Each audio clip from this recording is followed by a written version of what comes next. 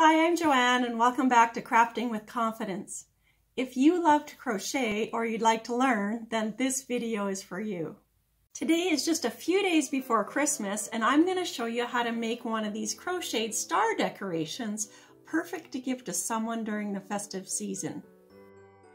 Each of these easy little projects will only take you about 10 to 15 minutes to create, so it's simple to crochet more than one while you're at it. By the way, I learned a nice little secret the other day when I went to Michael's to buy some yarn for this project. The yarn was already on sale, but when I stocked up with these, I was told the teachers always get an additional 15% off whatever they purchase. Not bad. Here's an example of a completed crocheted star decoration. There are three layers to this project. The first round inside section, the five-sided or pentagonal second section, and the last outside section where the five points of the star are created. My tools are really simple. Just a regular ball of acrylic economy yarn and a 3.75 millimeter crochet hook.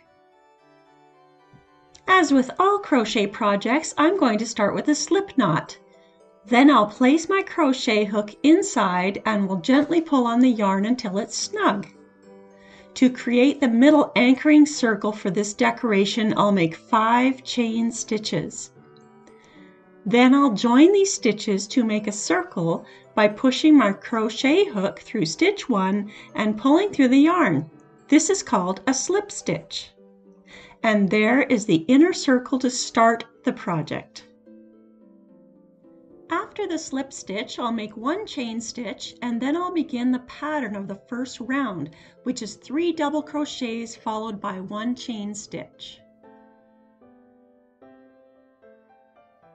For a double crochet, I grab one loop of yarn and then push my hook through the center, pull the yarn through, yarn over again, pull through two stitches, then yarn over one more time and pull through the last two stitches. Let's do that again nice and slowly. I yarn over, push the hook through the center, pull the yarn through. Then I yarn over again, pull it through two stitches, and yarn over one last time and pull through the last two stitches.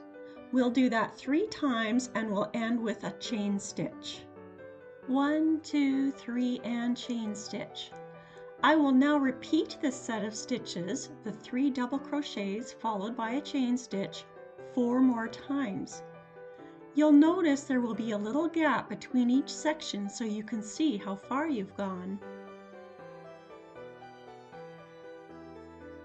I'll know I've reached the end of this round when I've repeated the three double crochet plus one chain stitch combination a total of five times. Then I'll join to the top of my first double crochet with a slip stitch. Now I have a nice five section round with five openings evenly spaced around the sides.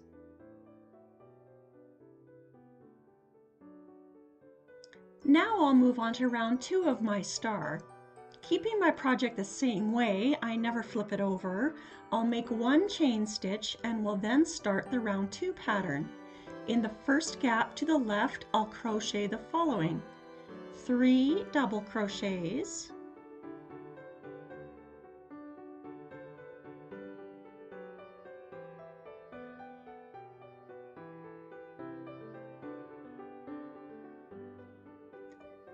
two chains, and three more double crochets.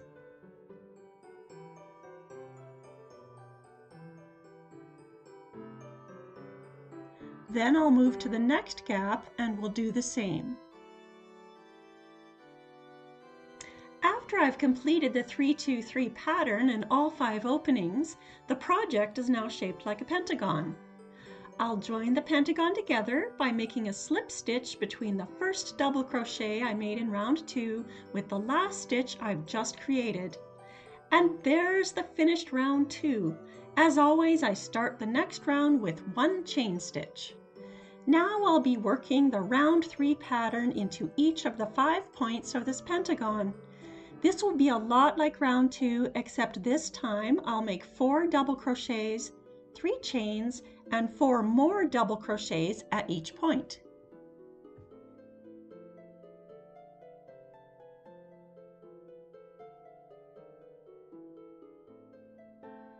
In the side opening between points, I'll just do one single crochet, which will make an anchoring stitch between the points of the star. Then it's back to the same pattern again four more times. In each point, I'll do four double crochets,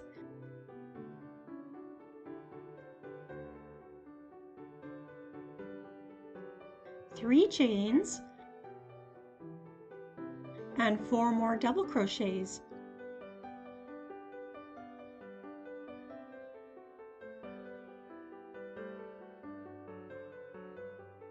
And in each side gap, I'll make an anchoring single crochet. You can see the star points starting to take shape. And now I'll continue with this pattern until I finish the fifth point. Having crocheted around all five points, I need to remember to do my last anchoring single crochet.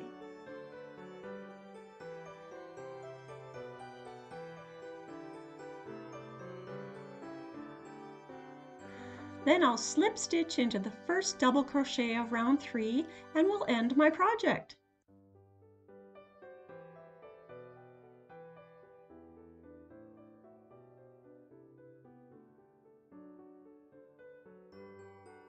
I'll then weave in and clip the two end bits of yarn, and if I wish, I can create a hanging tassel with an extra piece of yarn.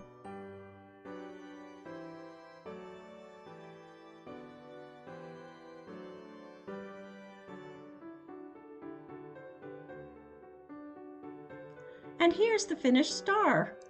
Once you've made one, I'm sure you'll want to make more of them. Thanks so much for joining me to make this crocheted star decoration.